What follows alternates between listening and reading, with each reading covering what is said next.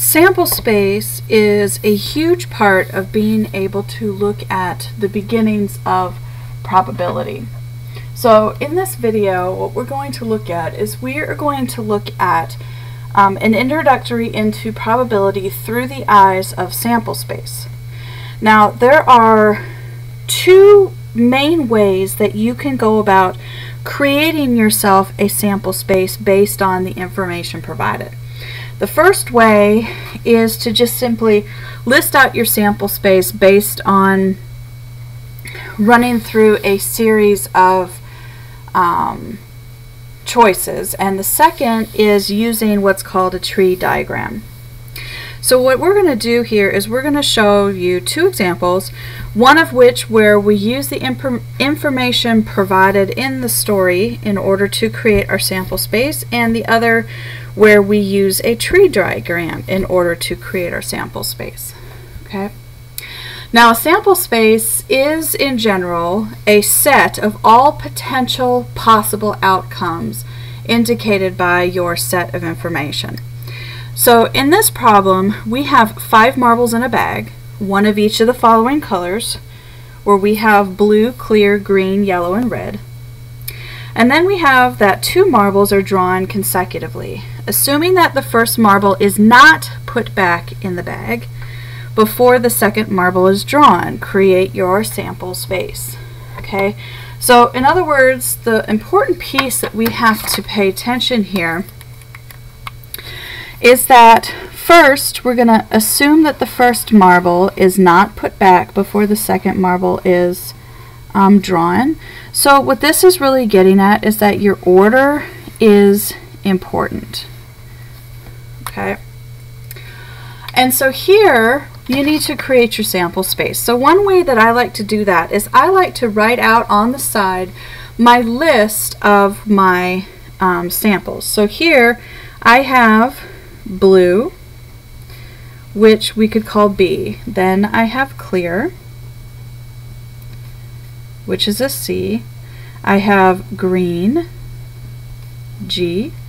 I have yellow, which is a Y, and I have red, which is R. Now in this case, again, order matters. So what that means is if I want to say that my first um, marble drawing is a blue, I'm going to open my sample with a brace or a squiggly line, and then I'm going to start listing it. So first, if I want to start by drawing a blue, so blue comes out first, then I would look at what comes out next. Well, my possibilities are I could draw a clear, or if I draw a blue, I could draw a green, or if I drew blue first, I could then pick yellow, or blue followed by red. So I have five marbles, which means my sample space for each color is going to have four options because I only have one marble of each color. So once you satisfy all of your blues, you move on to the next one. So here my next one would be clear. So if I started with the clear, the first thing I could draw is a blue. I could also start with clear, then draw green. I could start with clear and draw yellow, or clear followed by red. Okay. Then move down the line, I've got green. So if I started with green, I could then draw blue. I could start with green and draw clear. I could start with green and draw yellow. I could start with green and draw a red. And then finally I have yellow. So if I start with yellow, I could then draw blue. Or if I start with yellow, I could draw clear. I could start with yellow, draw green, or I could start with yellow and draw a red.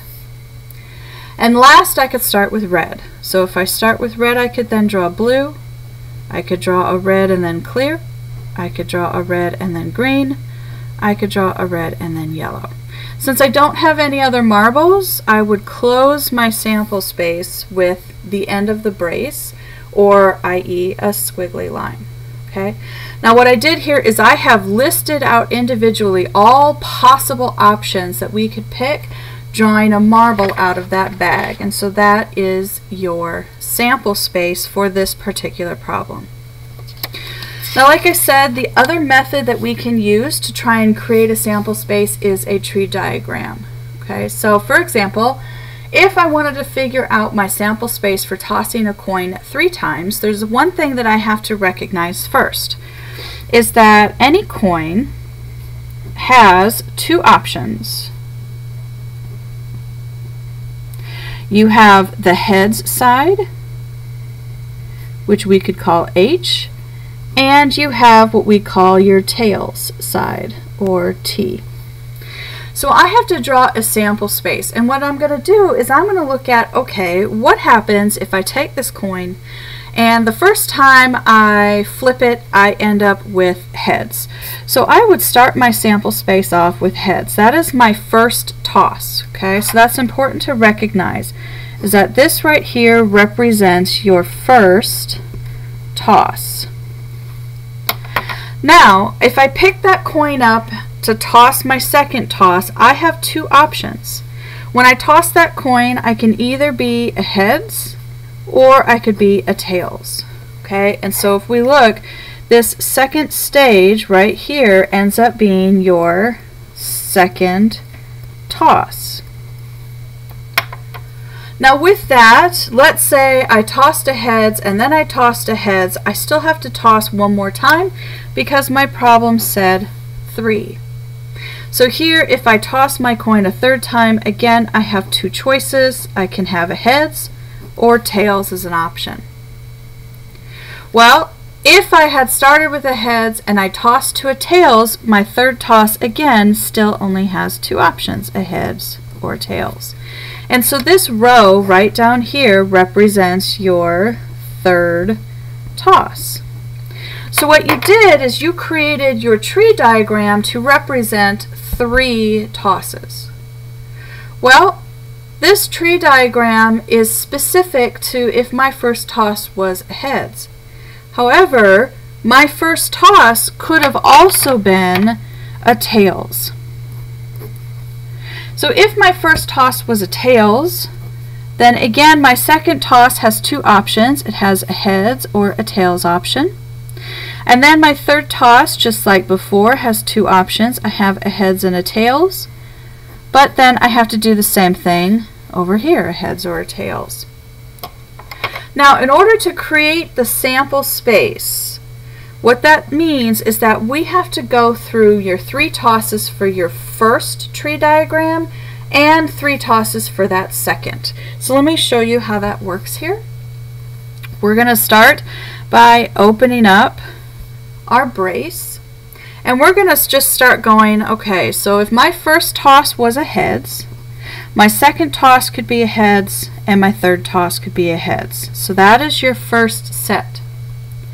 Now, my first toss could be a heads, my second toss could be a heads, but then its third toss could be a tails. That's the second set. Now, in this case, I can go heads. I've exhausted my second toss being a heads, so I have to come over here and say, what if it was a tails? Well, its third toss could be a heads. There we go. And in this case, I could start with a heads, I could go to a tails, and I could go to a tails.